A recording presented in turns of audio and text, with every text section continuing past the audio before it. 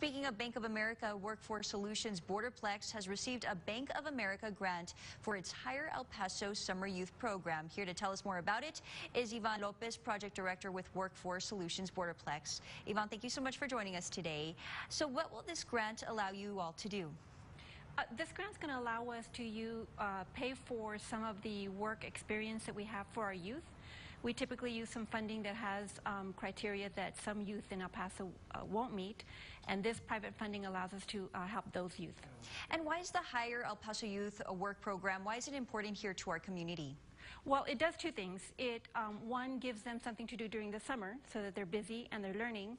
And the other thing is that it's giving an opportunity to the uh, employers in our community to help develop their own pipeline. So as they're coming out of school and colleges, they're already coming with some of the experience that they're earning uh, during the summer.